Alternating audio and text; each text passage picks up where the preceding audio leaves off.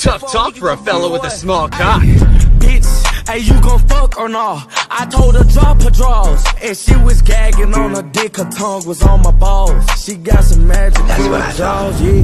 Bitch, hey, you gon' fuck or not?